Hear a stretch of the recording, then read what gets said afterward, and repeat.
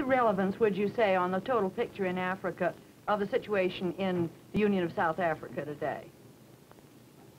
Well, um, right now, the situation in the Union of South Africa is that the government is trying to separate the Africans from, uh, from the whites. Well, personally, I don't think the Africans like to be separated from the whites.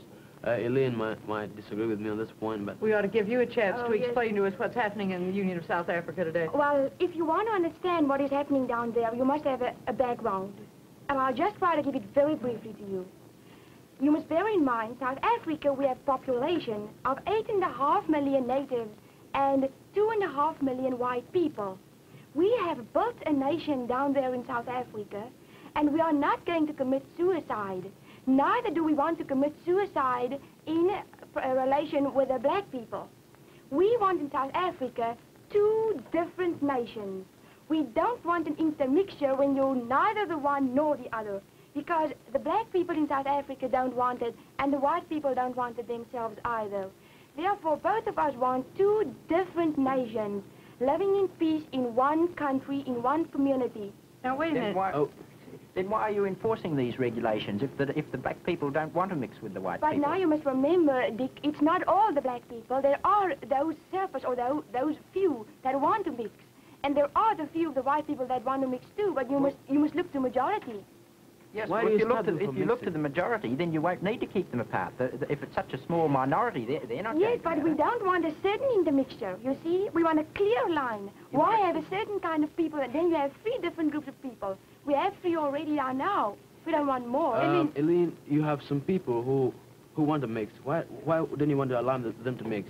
Since uh, I I understand South Africa is a democracy, and you allow anybody to do what, what he wants, except that his freedom doesn't, doesn't uh, interfere with somebody else's. Well, suppose an, an African wants to marry uh, a white girl. What do you do about that? I suppose you don't allow it. no, it's not. Why not?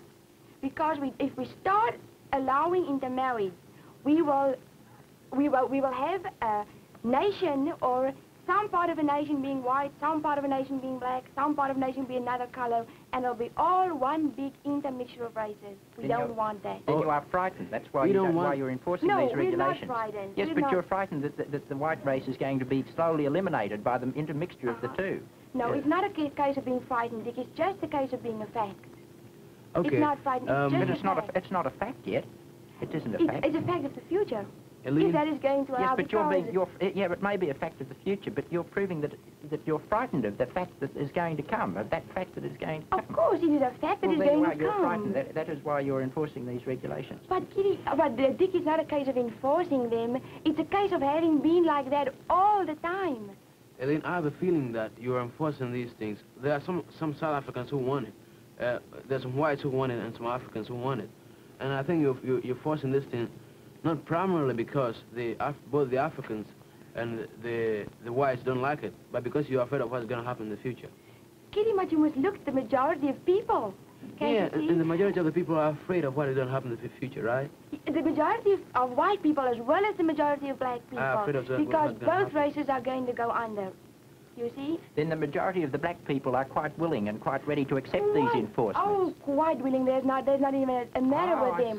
see. It's just a little, a little handful of our black people. And to tell you the truth, uh, it's Dick, just- that is mainly the people working on the mines in Johannesburg. And 90,000 of those natives working on the mines come from other parts of South Africa, of Africa. And it's it's just- not even Africans It's just, themselves in South Africa. it's just a small minority who force their way into trains and uh, Yes, carry on this just a huge, these very, huge very small demonstrations minority. And, uh, I'm sorry to interrupt. You have uh, raised some questions, certainly, that we can't answer, but our time is over, and we've got to, we can continue this. I'm sorry, it went Oh, quickly, didn't it? And there was oh, much I know you didn't want to say. Next week, we'll be back at the same time. This is Helen Hiett Waller.